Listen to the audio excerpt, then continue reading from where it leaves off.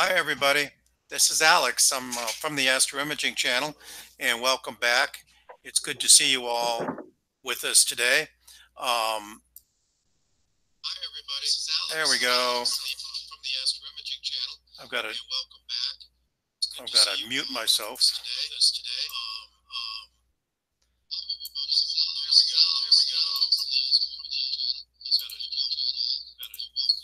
Hang on a minute while I get my sound straightened out, folks. Okay, I've got some instance. Oh, there we go. We were um, just just before we went live. We were um, trying to fix something.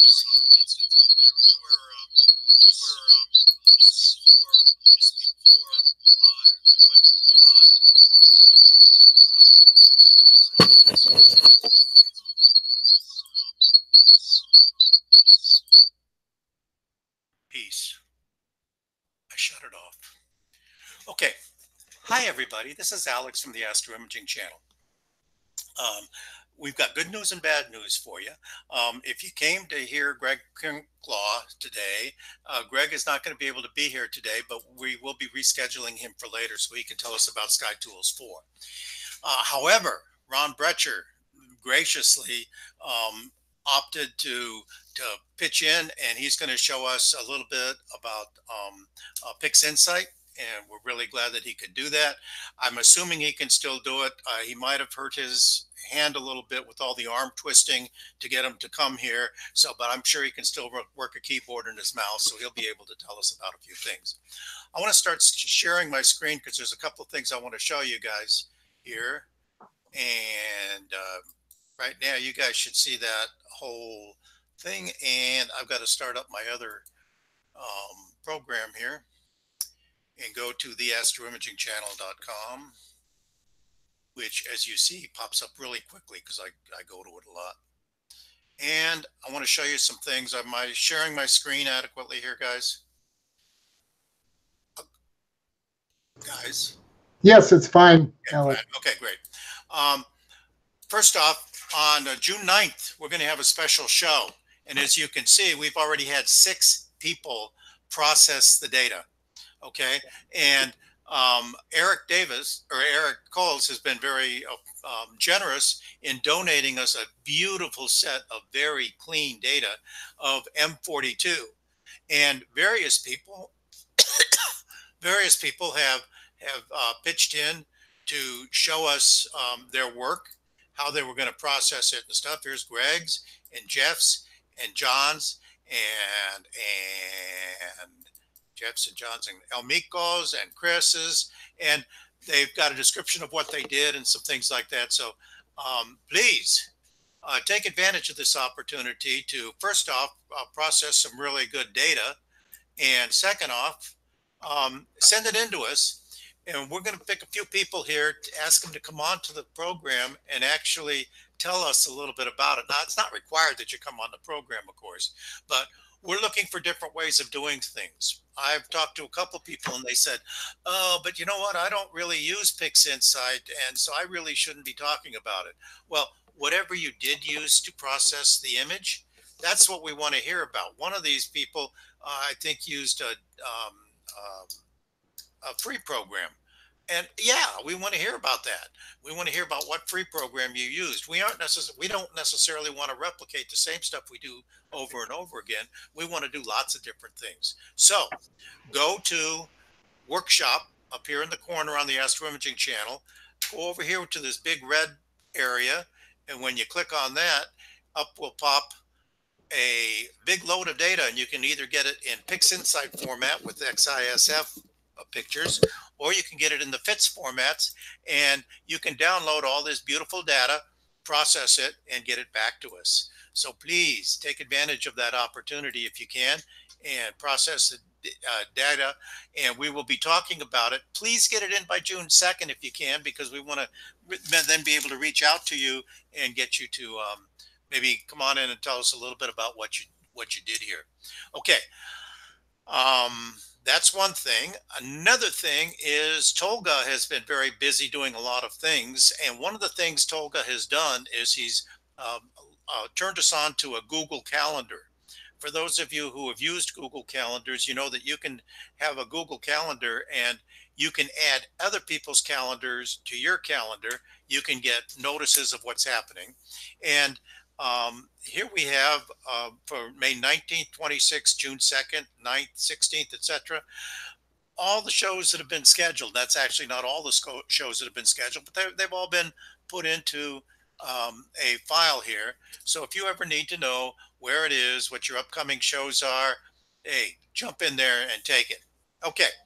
Um, I need to stop sharing my screen, which means I need to go over here and stop sharing. Go over here and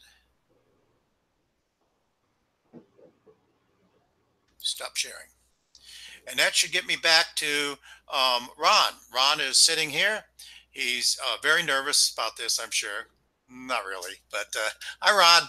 Welcome. Hi there. Um, Ron uh, uh, is coming to us from Canada, and I'm going to let him tell us about what he's going to be talking about and all that other stuff. So take it away, Ron. Okay, let me just start uh, sharing my screen.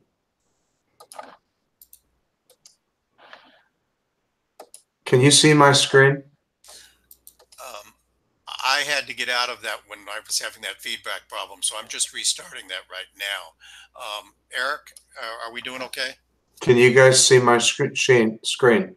Yeah, we can see your screen, Ron. I had to click on your name, but yeah. Okay, excellent. All right.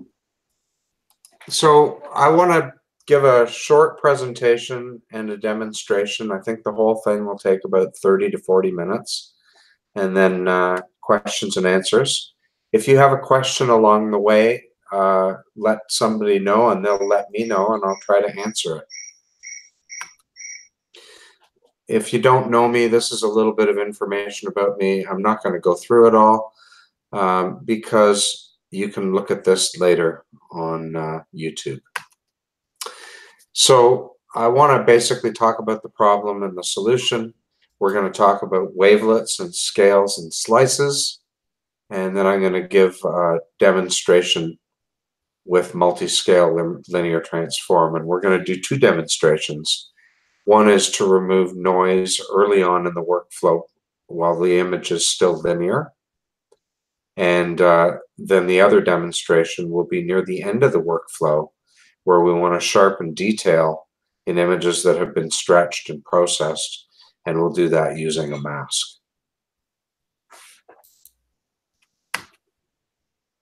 So here's what the problem is. The sky is dark at night, and that means that images of deep sky objects are inherently noisy, especially in low signal areas. So I'm talking about background, I'm talking about the dim regions of a nebula. But we want to see everything that an image can show. So there's really two, two problems. One is how do we reduce the noise without losing detail where there's good signal? And then sort of the reverse question is where there is good signal, how can we enhance the detail without increasing the noise? And the answer is multi-scale linear transform it can do both of those things and it does it very, very well. Uh, before we introduce the tool itself, I want to talk about what I'm, uh, this is a wavelet based tool. It looks at an image in layers uh, or images. It, it's a multi-scale tool. So we have to talk about what those terms mean, wavelets, scales, and layers. And they all refer to the same thing which is structures of different sizes in an image. So the smallest structures tend to be noise, that uh, very fine graininess, and maybe tiny stars.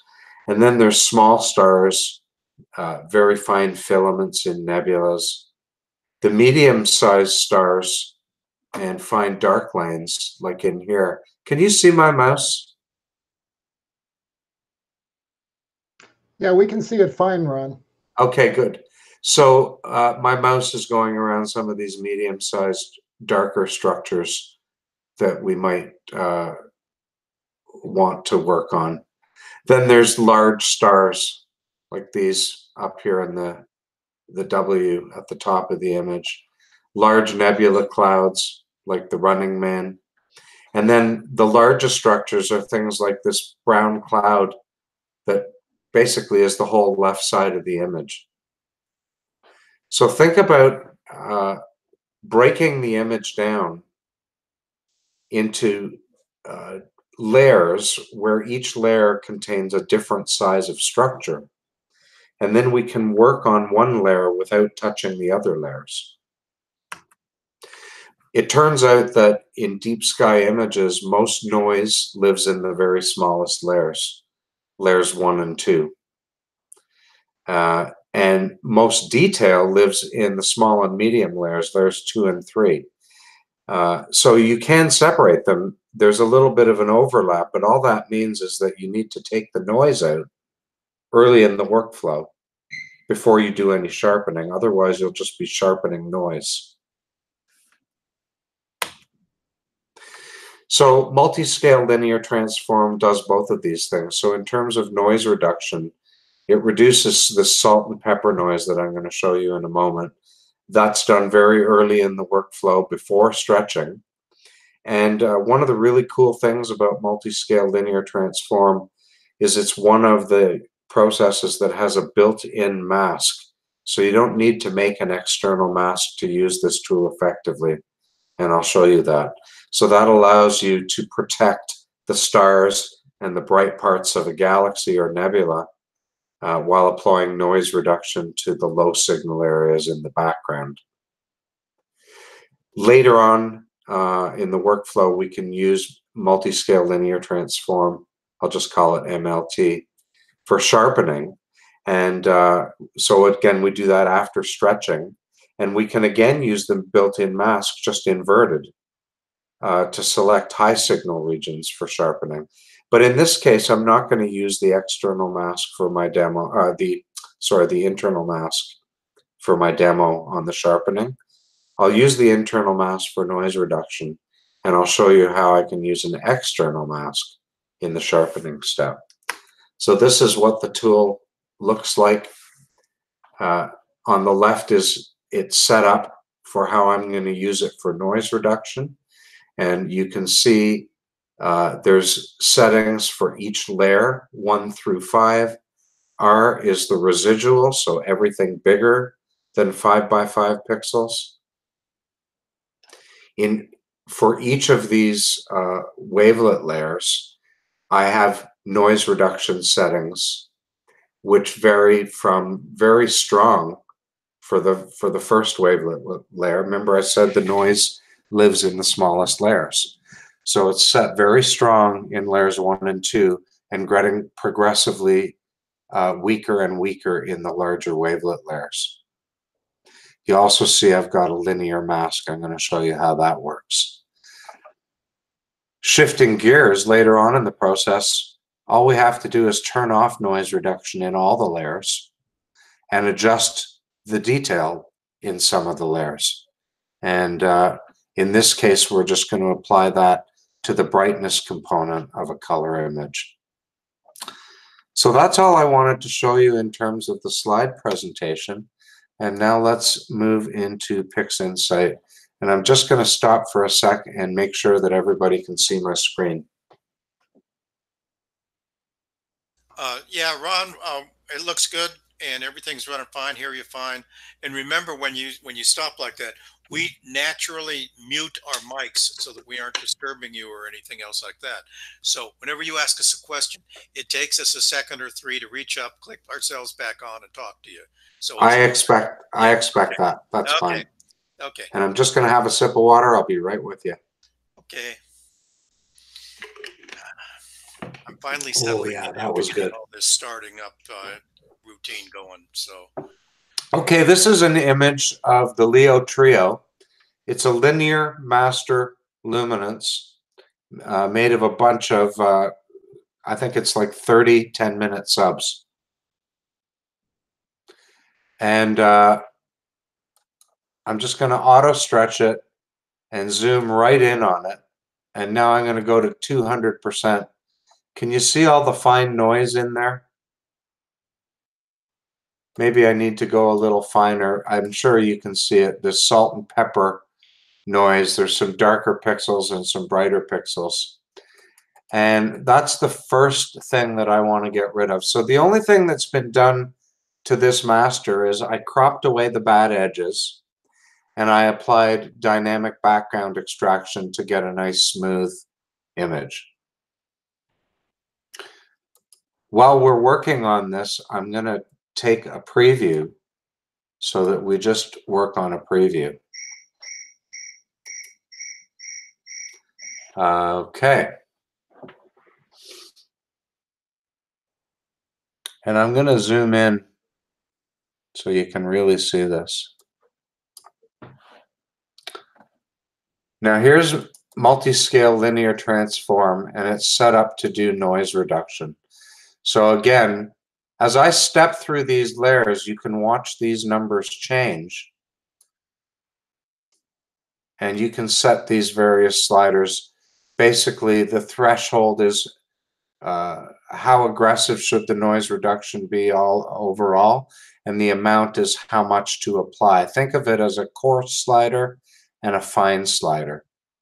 And then number of iterations. I've never really felt the need to use more than one iteration. Before we can use this tool, we need to set up the linear mask. And the best way to do that is with a real-time preview. So if you've used Photoshop, you know that as you're changing settings, you see things updating in real time. That doesn't happen with a regular view in PixInsight, but you can create a real-time preview that shows in real time what's going on.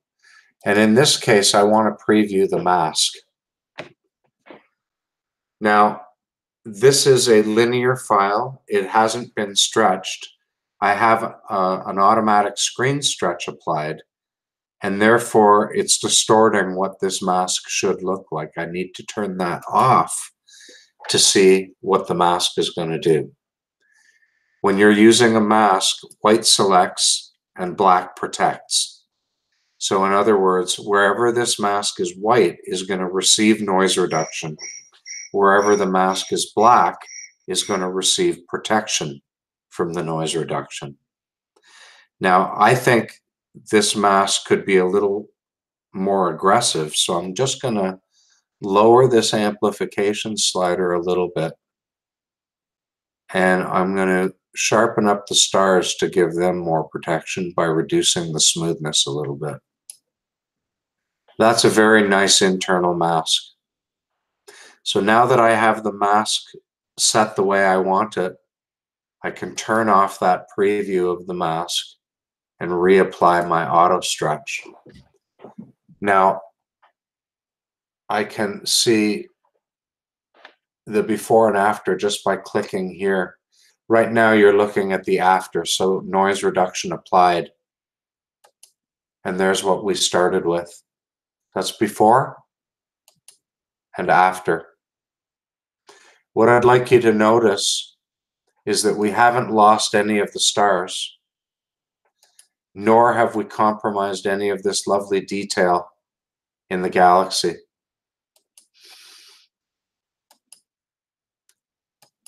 Okay, I'm going to just pause here and ask if there's any questions. Uh, Ron, Terry here. I have a question.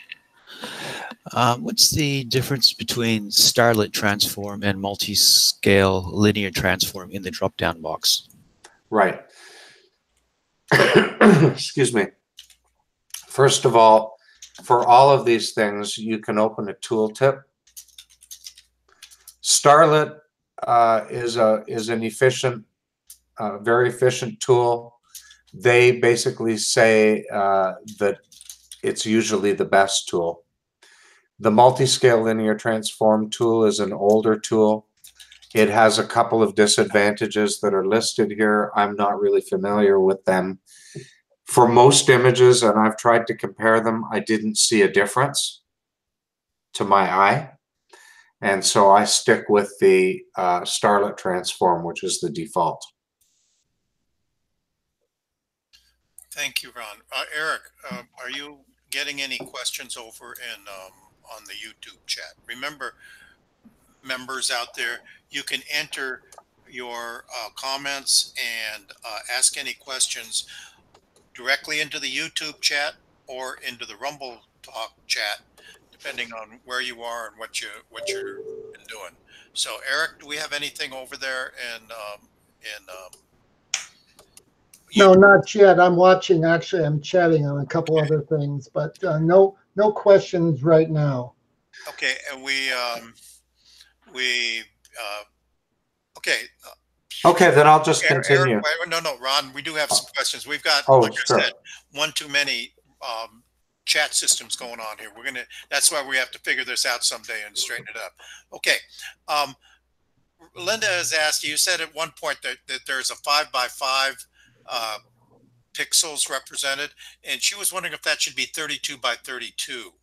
Uh, although at different levels, it's different sizes. Maybe that was it. Correct.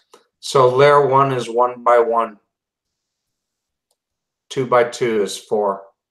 Four by four is 16. Eight by eight, 64, and so on. Okay. Um, and Linda, if you have a follow-up question, be sure to type it in. Almiko wants to know, um, should you be using, um, RGB or luminance in the target box? Uh, it depends. Well, so on a luminance image, it doesn't matter. Okay. On a on a chrominance image, so an RGB image, Mhm. at the linear stage, if you're going to be adding luminance later, I would do the RGB like this. It'll do each component separately. Okay. Um, Steve D wants to know what the toolbar is at the left edge of the window. Um, Uh, is he referring to the one, the left edge of the image window? uh, yeah, let's go over there and if that, um, if that de- doesn't answer the question, uh, he can ask again. Okay, so this is called the View Identifier tab. The dark one is the one that's active. The View Identifier tab, in addition to the name, gives a wealth of information. So just hovering over it brings up a thumbnail that tells you the path to the file, the the dimensions of the image, whether it's grayscale or color, uh, how many bits it is, uh, and what's you know whether it's been changed or not since it was saved. Okay. Ron, uh, this is Yeah. Eric. There was a question that came up, and I actually had the same question. Uh, how would this compare to uh, MMT? And that was a question posted here, or TGV denoise.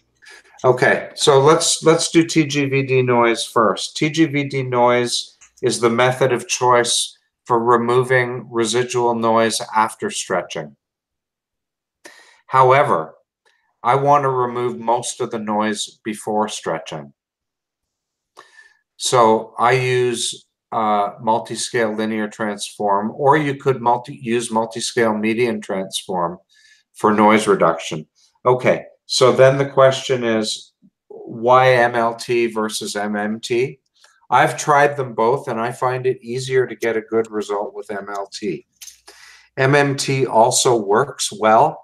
I just find it harder to dial in the settings for no additional benefit that I see in my images.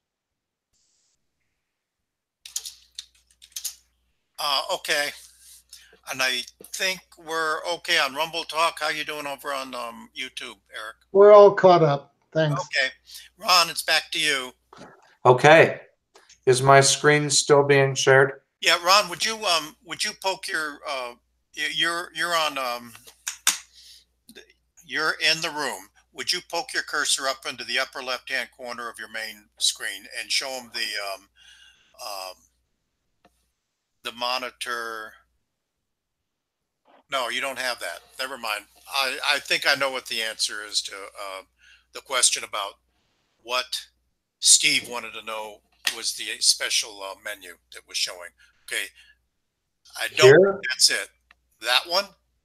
Okay, yeah, tell us what that one is, just in case. This is the process console. It's kind of like your favorites menu, if you like.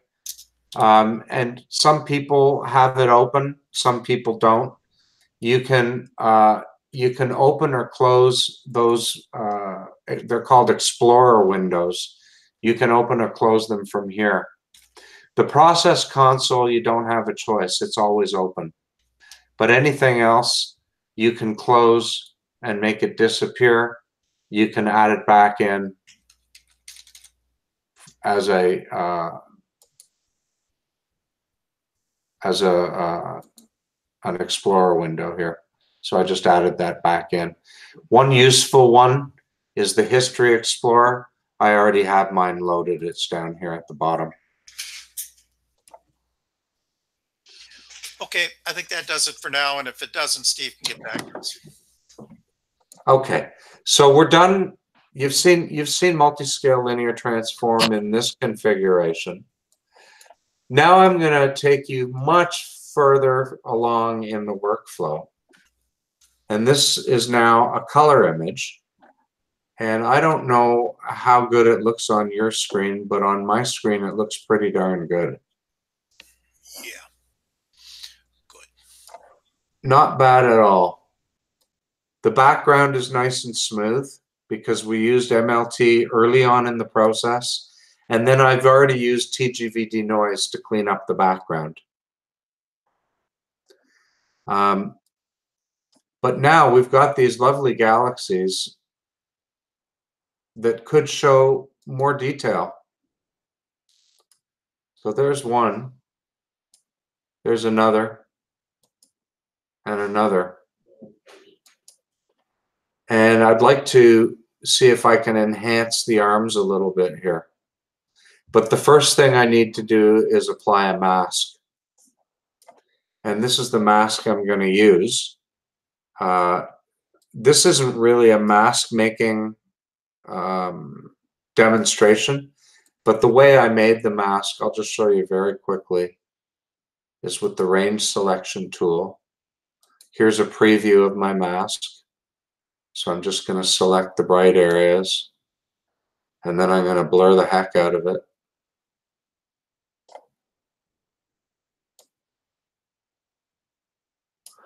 Maybe get rid of the stars.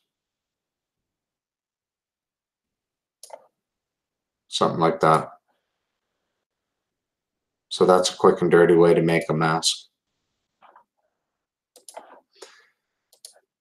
This mask, I cleaned it up a little more. I used clone stamp to get rid of some of the stars that were left over.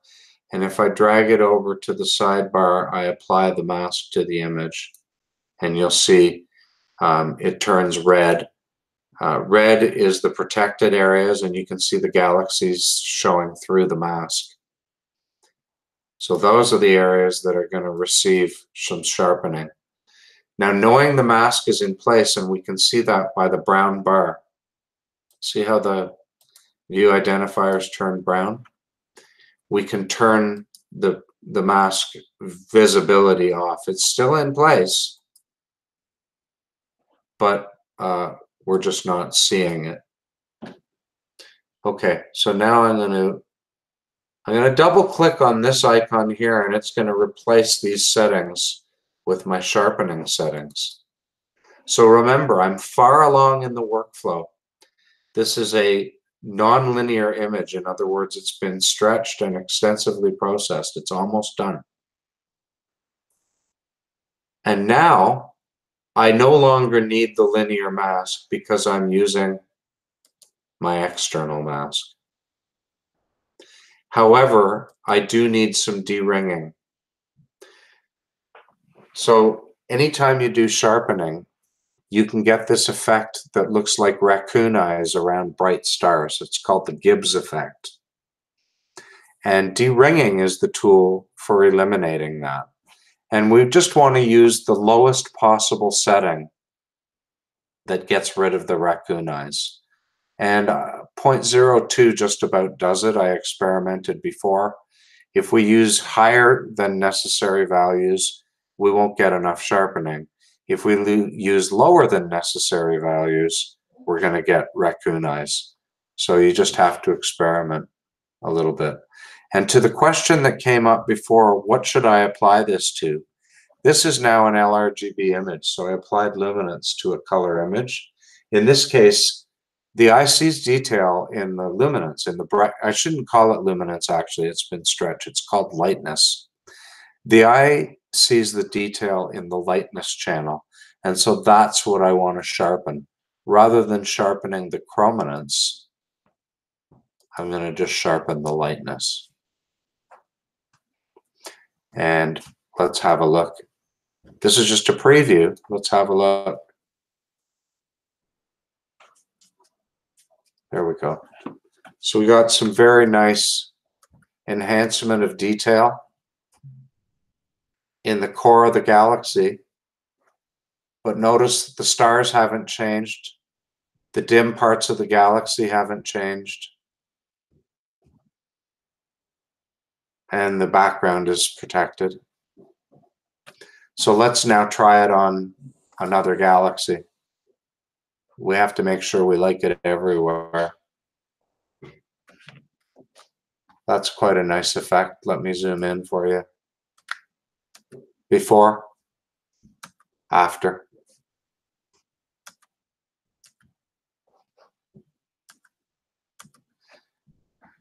I think the deringing is a little bit too high and that's why those stars are getting a little bit bigger. And so I might lower this a little. Try again.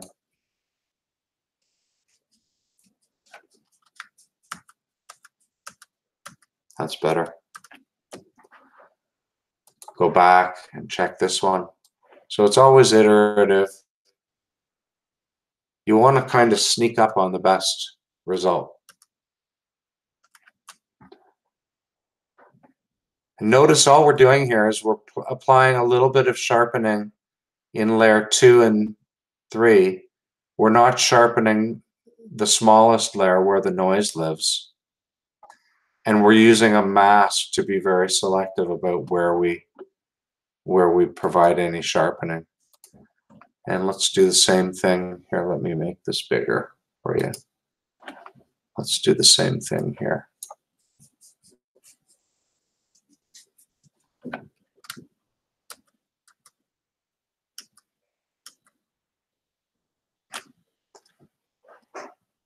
And when we have settled in on settings that we think we like, we can just verify our mask is in place and now we can apply this to the whole image. And that's done. Okay, so that's the demonstration. I'm going to leave my screen sharing up in case there's questions. Okay, let's start with Eric. Uh, you got anything over in uh, YouTube? Uh, no, but I do have a question. I noticed that the stars within the galaxy seem to get a little brighter no matter which setting you actually chose. Is there a way around that, or is it just too difficult to mask those stars? Oh no, it's it's very possible to mask those stars.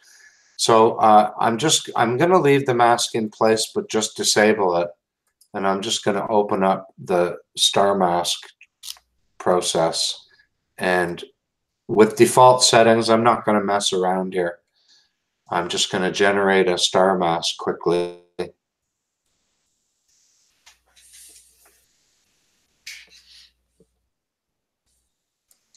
There we go.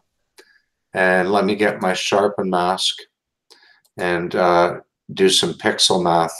So last time I was on this channel, I did some pixel math and I demonstrated how you could uh, subtract one mask from another. So I'm going to go sharpen mask minus star mask. And I'm going to create a new image, which we'll call um, star free sharpen mask. You can call it anything. And I'm just going to hit go. And there we go. So now, if I just get these out of the way, I'm going to undo my sharpening. And let's apply this mask instead. Now those stars should receive some protection.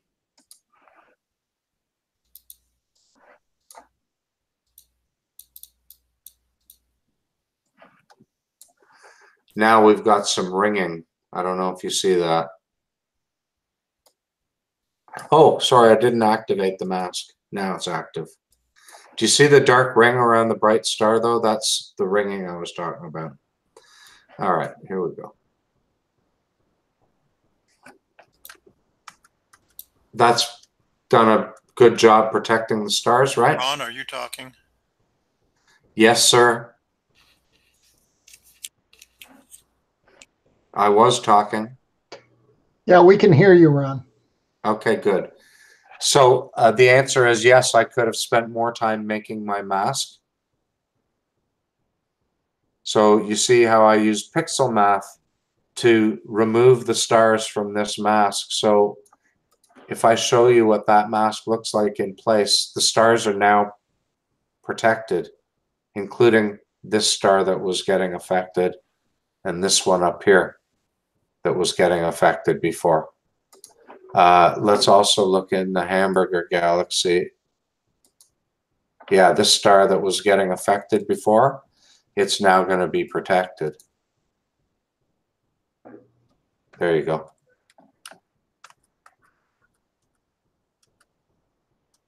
Does that answer the question? Uh, yes, that's very nice. Thank you. Okay. Let's see also, it should do a nice job on this and this. Let's have a look. Oh, yeah. So that's just spending a little bit more time making the right mask. And when we're happy, we apply it to the whole image. Boom. Look at the detail. That's crazy.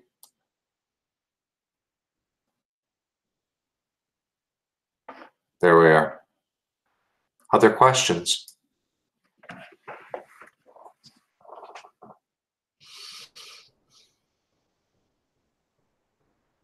Oh, I'm all set over here at YouTube. Uh, Alex?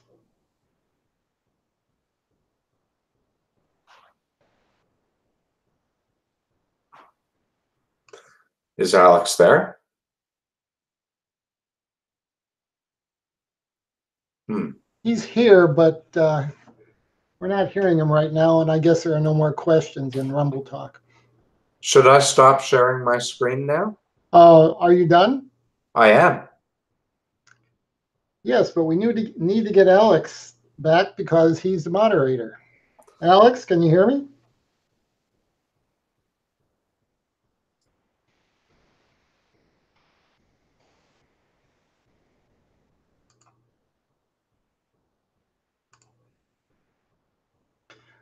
Well, we seem to have lost Alex, but uh, that was an excellent presentation. Um, I wasn't aware that MMT was really for the for the non for the linear images versus nonlinear, and that TGVDenoise was for the nonlinear. I guess I've used MMT for nonlinear images as well. Uh, what are your thoughts about that? Um, I I think TGV is a better tool for nonlinear images. I, I've tried them both. I, I don't get nearly as good results with uh, MLT, MMT. I've also tried ACDNR, and uh, by far the best tool for a nonlinear image is TGVDenoise in my experience. We still seem to have lost Alex. Uh, Ron, do you have any strategies for coming up with reasonable values for the the bias levels and the threshold amounts? I start at about 0.1 and increase or decrease from there. And uh, I use Warren Keller's rule of kind of halvesies and twosies. So I start at 0.1. If that's not enough, I'll go up to 0.2. If it's too much, I'll go down to 0.05. And then I keep splitting the difference or doubling. Sorry about my dog, guys. Yeah, so I, I keep splitting the difference or doubling until I home in on the right uh, setting. Ron, is there any way to mask the uh, noise of the dog barking? I don't have a dog mask. But I no longer need to uh, to share my screen, I don't think. I don't think you're sharing your screen now. Oh, right now all I'm seeing is big me. Oh, because I'm presenting, I guess. Uh, Terry, do you have any more questions? I don't know what happened to Alex. I'll send him a note. There's stuff in the chat. No, no, no question. Sorry, I just had a, someone at the door.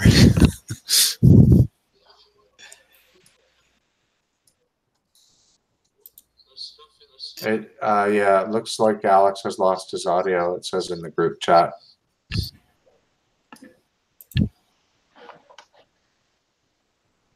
We have some nice compliments uh, over on the chat. Would you like me to read those? Those, or can you see those yourself, Ron? Uh, I don't see them. I, I have used the um, multi-scale linear transform with better results than the Starlet transform. I find the Starlet transform very aggressive. Or is that just is that just me? Uh, your mileage may vary. There's many ways to skin a cat. Of course. I find that if you do a really good job dialing in the linear mask, MLT with the uh, Starlet Transform does a great job. But dialing in that linear mask is really important. And the big mistake uh, that I made, and I'm sure most people do because I, I, I, I, I don't know where it was documented, I found it by accident, is when you're adjusting the mask using your real-time preview, you have to turn the stretch off. Otherwise, you don't see the linear mask. You see a stretched version of the mask. And it's very garish. It's all black and white.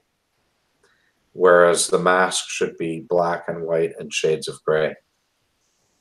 Okay. So that's while you're adjusting, when you're previewing the mask, and maybe I'm going to share my screen again for a second if that's okay. Give me a minute. All right.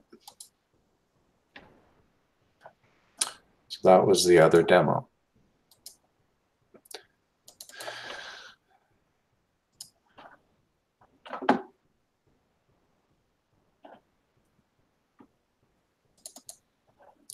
So this was for noise reduction. I've I've got a, uh preview selected, so we're not looking at the whole thing. And I want to preview my mask. Notice everything gets grayed out. This is now going to allow me to adjust these two settings, amplification and smoothness of the mask.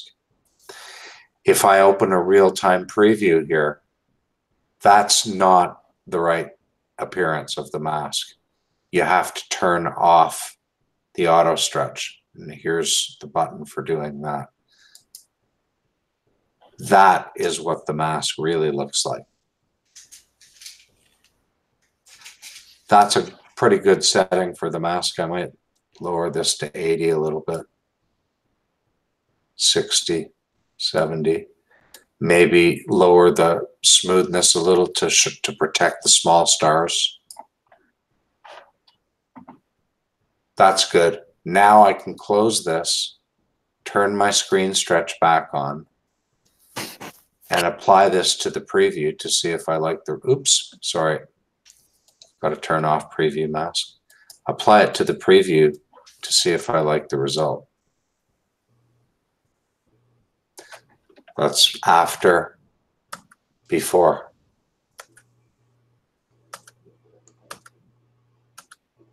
So here we're just trying to take out all that salt and pepper noise. Okay, I'm going to stop sharing my screen.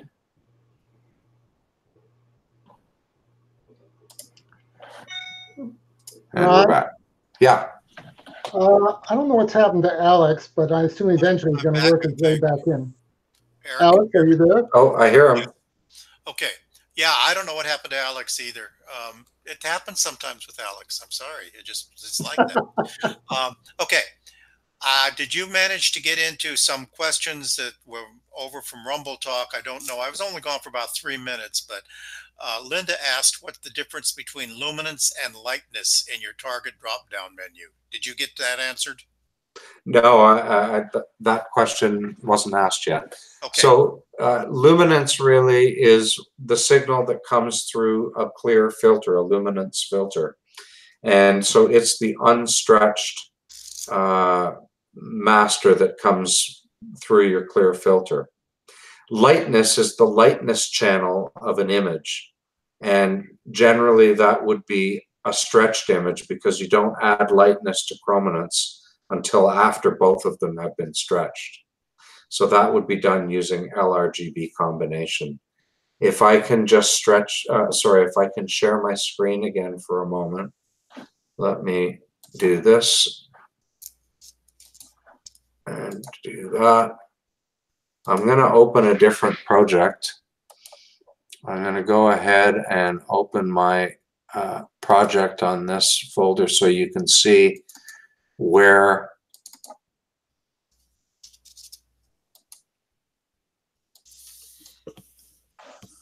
it's so that you can see where the lightness got added to the RGB. So there is a process called LRGB combine. And basically, I process my chrominance or my RGB data independently from my lightness data that came through the luminance filter. And when they're both pretty well done, then I replace the lightness of the chrominance image with the real high quality lightness that I got with the luminance filter. I know that's kind of jargony, but hopefully that will explain. Um, so this is my finished project for this file, and I can go into the history of this image and go right back to where they were combined. So I'm going to go back to the step before. And I can close that now. So what you're looking at now, it contains just the RGB image. And over here is my lightness channel. And you'll see it's called SynthL because I synthesized it from the luminance, the red, the green, and the blue. I often do that. So this is the lightness channel and it's been processed. You can see it has a, a full history. So I cleaned up the background. I applied deconvolution. I applied noise reduction the way we just talked about, and then I stretched it. And I'm just going to shrink that back down neatly out of the way. The RGB, if we look at its history, I uh, I did the background correction, combined the channels, balanced the color, did the noise reduction, and did the initial stretch. That's what we're looking at right now. And now we're ready to add the lightness into the RGB. And we'll do that with, sorry, I'm just getting to a good place here where you can see it. I'm just going to step forward so you can see the effect of adding the high quality lightness, which was made from a blend of the luminance, red, green, and blue filter data. Oh, let's, there we go. Before, after. Before, after. So you can see what the lightness added. And now the image isn't done at this stage. So I'm just going to step through the various steps. I'm still stepping through, still stepping through. I'm doing about one step every two or three seconds. It's almost done now.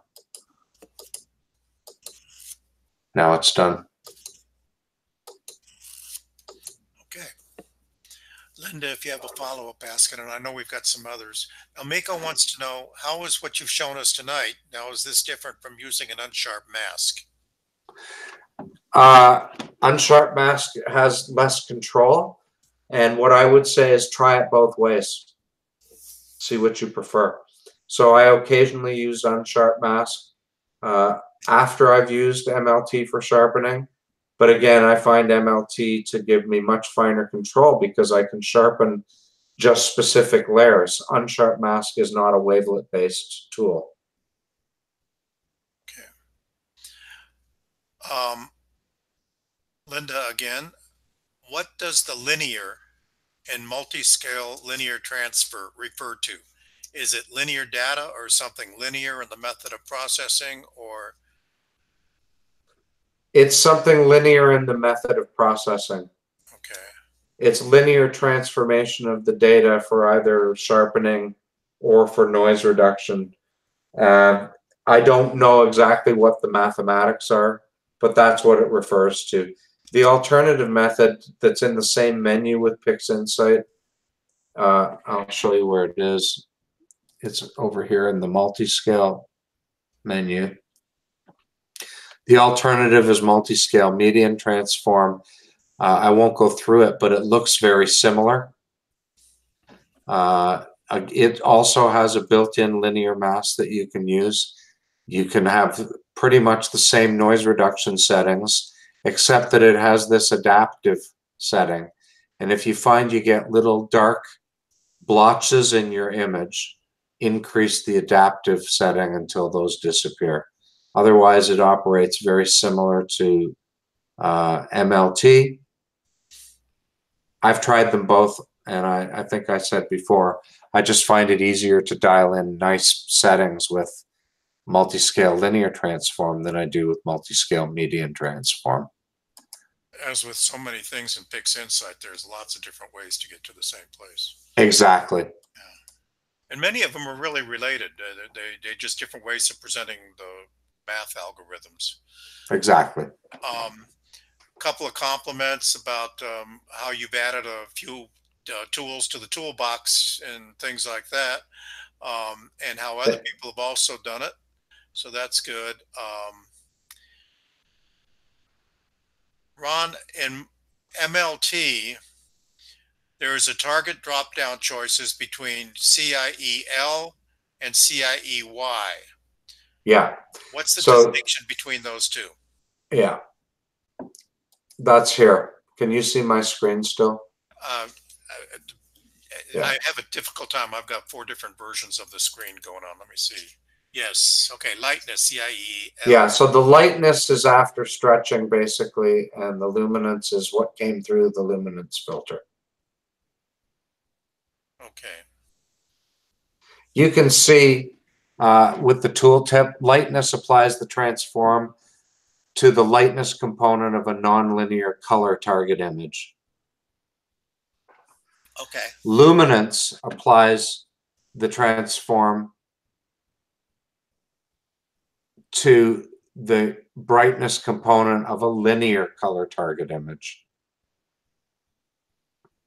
Generally, you won't use luminance here. You'll use lightness if you're working on the lightness channel, and you'll use RGBK. Actually, you can use RGBK for the uh, lightness channel too. But when you're working on an image where you've added luminance or sorry, lightness into the chrominance like we did here, then we want to apply the sharpening only to the lightness. Noise reduction, we would apply to RGBK because on the lightness, it'll just go to the, the K, right? Black and white. Okay. When you're working with one shot color, is it best to use the luminance or the RGB to do this kind of work? RGB. Okay. Uh, we are, I believe, through the questions. Um,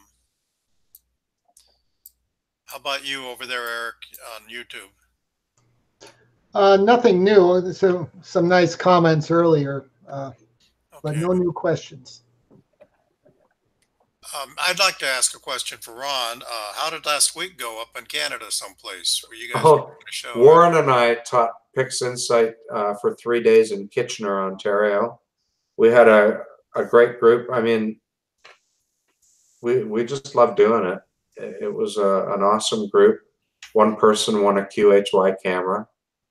Uh, everybody had a good time. The evaluations were good. So every time we teach this, I have people fill out an evaluation form at the end of the course, and uh, I compile that. Warren and I use it to figure out what's what and how to make things better. Um, we're thinking that the next course we're going to do a two day format. We think that's going to help reduce the costs for people, uh, particularly in terms of taking time off work. Uh, so if we just do Saturday, Sunday, people still have to travel on Friday. So uh, we figure we can do it in two days and still do a good job we've kind of learned what's really essential to cover and what we can cover privately with people in the process your own data sessions. So it looks like you and Ron, are- or you and, um, what's his name? Uh, Warren. Are gonna be doing this again sometime soon. Yeah, we're exploring a couple of places. Chicago is one, and we're looking at uh, somewhere in Ohio. Uh, we need to find a host first. So if anybody's got ideas for a host in either of those locales, let me know. What's it take to be a host? Just somebody that happens to have a business that might have a conference room or? Yeah, we need a facility with a couple of big screens, room for people to set up their laptops, uh, coffee, refreshments, chairs, tables, lots of power. holds about And, twenty-five uh, people or so. Well, we kind of max out around 25 or so because we like to give people a lot of individual attention. Uh, we can do as little as 17 to 20. Uh, 20 to 25, I would say, is ideal. While, while we got you, could you also tell us a little bit about uh, if I just wanted to come to Dr. Ron and say, "Hey, help me out here with this"? Could you just like tutor me? Oh, yeah, I, I do tutoring online. I charge 60 US an hour and uh, get paid by PayPal. And uh, I'm not very good at keeping time. so uh, it's a good hour. And uh, basically, I remote into your computer or you can remote into mine and we work with your data or work with mine, get you where you where you want to be with PixInsight. Um, one other thing that I wanted to ask you while I had you is uh, what are you what are you talking about at AIC? Tell these folks about AIC. What's happening there? So AIC is going to be November to uh, November 15th to 17th in San Jose, California. Uh, I'm one of the speakers there. There's a, quite an incredible lineup of speakers. They call it the the best gathering of astrophotographers under one roof. And uh, I hope I get to go to some of those talks. But what I'm talking about is I'm doing introduction to astrophotography for beginners. So basic hardware, software, setting up your equipment, very basic things to think about. So it'll be a two hour workshop delivered twice. Cool. I'm, I'm also presenting up there. I don't know if you know that, um, but I'm also presenting about the Sequence Generator Pro up there. Oh, excellent. Ron, what do you, what kind of locations do you normally use? I mean, local colleges, businesses? College is fine, but typically we've done it in a local business. Uh, you know, some kind of a large meeting room where there's enough room for people. At least one very large screen or two large screens uh, so the people at the back can see well as well. Now, there isn't a huge number of astrophotographers in the Chicago area. Uh, so if you set up a conference, do you pull people in from, you know, surrounding areas? Yeah, we do. We've had people come as far from as far away as New Zealand just to take our course. Uh, that was our course in LA. And we had a woman come all the way from Norway just to take our course in Mesa, Arizona. I, you know, I think you have my email. Why don't you send me a note? Because there are a couple of places. Uh, I live just west of Chicago, uh, which we might be able to arrange. Would you mind sending me your email? Because I don't know who I'm talking to. Oh, this is our see- show. We've we've corresponded before. Who- Sorry, what's, Act- Actually, guys, Eric, um, on the invitation to the room tonight, uh, Ron's name's on there, so you can just use that. yeah, just fire me an email, Eric. Okay. By the way, what is, uh, I don't know if you give it out here, or do you have a website that people, if they want to do this, um, um, if they want to do this tutoring thing, how do they get a hold of you? I think that was Uh, maybe in your you first can- slide that went by real quick. Well, you can find me here, You sharing? astro, astrodoc.ca. Are you sharing your screen? Oh, sorry, I'm not sharing my screen. Let me do that. Uh, While you're doing that, uh, uh, Chris Pagan says, "Hey, what about Florida?" And Tom C says, "Yeah, Orlando would be great." Guys, let me tell you what what I think I heard Ron say was, what you need to do is find some business in the area or club or church group or somebody that's got a hall big enough to hold 20 some people with a screen and um, maybe a local camera store sponsor or uh, whatever Exactly. that that kind of thing. You gotta Exactly. you gotta help arrange that because that's that's the key to arranging all this is to find a place for it. That's the hard part. And you got to find 10 or 12 people who want to come. You know, yeah, you can. You know, particularly if you're part of an astronomy class or astronomy club or something like that, you might have a few there. But um, this is a big operation and it takes a lot of planning, from what I understand. So Yeah, it does. I mean, it's a it's an intense but really good course. So here's my email address. And I'm just going to leave that slide up for a second. So it's rbrecher E at rogers.com. So you can find that on the video. You can also go to my website, which is astrodoc.ca. And if you click on any of these thumbnails and then click on the image, it'll take you to its page. You can sign up to get onto my mailing list if you want to. Um, you can even see what the weather's like at my observatory tonight, which is crap. Here we oh are. yeah, you're special. Like everybody else has good weather right now. Oh, it's Everybody's bummed. Terrible. Amico wants you to come back to Mesa, Arizona. we had fun there. That was that was great fun. Any um any more questions over there on the other side, Eric? Uh, no, I think everyone is quieted down. And I think we got everybody on RumbleTalk. So now it's time to say goodbye, everybody. Okay, thanks you guys. Thanks so much for stepping in real quick, Ron. No problem. I hope it wasn't too short, but I just figured pick uh, pick a couple of topics and cover them. And uh, That's that's what we asked of you, and you did a great job as usual. Thank Good night, very much. everybody. We'll see you next week. And next week, um, we're gonna hear what are we gonna hear about? Uh, Sydney, right? From um, Sydney. You're here, right? You want to come in and uh, say something about what you're going to talk about? Oh, I guess you're not here. Now you're coming back here.